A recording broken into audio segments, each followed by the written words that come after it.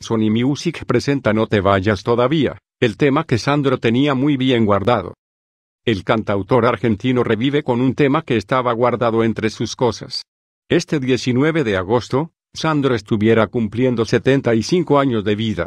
Este solo es un adelanto de un álbum inédito que se conocerá próximamente.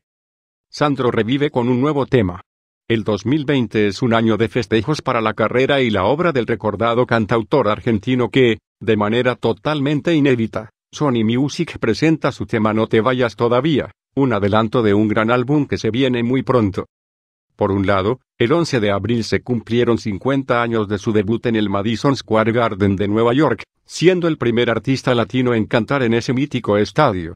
Ese recital, el primer espectáculo que se transmitió vía satélite en vivo y en directo al mundo, fue visto en 14 países por 250 millones de espectadores. También cumplió 50 años su álbum Muchacho, que incluía la banda de sonido de la exitosa película del mismo nombre. Este 19 de agosto Roberto Sánchez, Sandro, el ídolo, el gitano, ese torbellino que dejaba sin aliento a las mujeres, hubiera cumplido 75 años. Sus miles de seguidores en todo el mundo lo siguen venerando a través de sus eternas canciones, que siguen intactas y que mantienen viva la llama. Pero este año es diferente. Desde algún lugar sagrado, Sandro les envía un regalo a sus nenas, a sus fans, a sus incondicionales seguidores. Se trata de No te vayas todavía, una canción escrita, tanto la música como la letra, por Roberto, que por algún motivo nunca llegó a grabar para incluir en alguno de sus discos. Años más tarde de haberla compuesto, utilizó la misma melodía para otro tema, con letra totalmente distinta, que cantó en vivo en exclusiva para un show benéfico en Chile. No te vayas todavía es el primer adelanto de un nuevo álbum, que incluirá versiones nunca antes escuchadas de canciones de Sandro y del cual pronto se sabrán más detalles.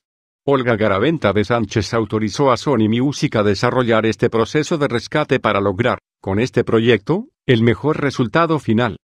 ¿Cómo se llegó a recuperar No te vayas todavía? Sandro acostumbraba a grabar temas nuevos, básicos, en su home studio de Banfield, provincia de Buenos Aires.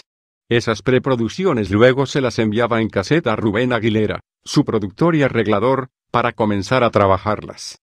A partir de esos cassettes, las voces grabadas fueron extraídas y restauradas por Nelson Pombal, productor e ingeniero de grabación de Palito Ortega y Charlie García, para luego grabar los instrumentos y hacer los arreglos que dan forma a esta nueva versión, con aquel sonido tan característico de la obra de Sandro, como por ejemplo el toque de la guitarra de Ricardo Leo compañero del astro en varias grabaciones antológicas. De este modo, este valioso material está disponible desde hoy en todas las plataformas digitales. Sobre Sony Music. Es una de las compañías de entretenimiento más grande a escala mundial. Posee más de 200 sellos discográficos en 44 países, incluyendo Arista Records, K Records, Columbia, Epic y Ariola. Sony Music posee multitud de websites de música y estilos de vida alrededor del mundo reunidos bajo el nombre de clictosmusic.com. Algunos de nuestros artistas son Shakira, Britney Spears, Gustavo Cerati, Los Fabulosos Cadillacs, Akbarra DC, Chayanne, Camila, Julieta Venegas, Franco De Vita, Marc Antoni, entre muchos otros. Sony Music Entertainment es la mayor compañía discográfica mundial y parte de Sony Music Corporation.